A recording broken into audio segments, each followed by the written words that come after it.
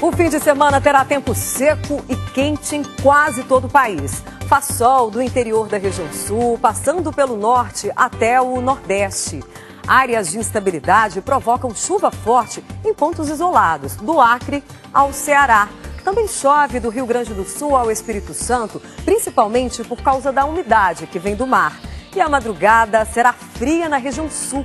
O dia amanhece com apenas 4 graus na Serra Gaúcha. À tarde, a máxima não passa dos 19 em Florianópolis, bem diferente do norte. Calorão em Palmas, com 41 graus.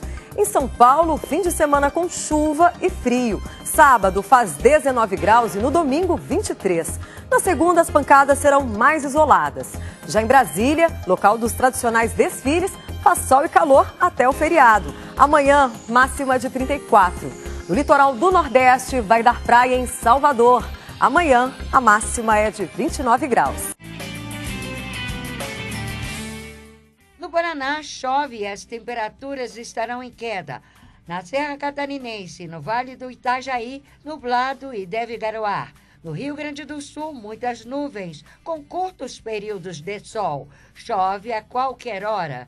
Possibilidade de chuva também nos litorais Paulista e Capixaba. No Rio de Janeiro, a chuva passageira vem acompanhada de trovoadas. Em Minas Gerais, parcialmente nublado e chove no sábado à tarde. Já o Distrito Federal está em alerta por causa da umidade do ar, abaixo de 20%.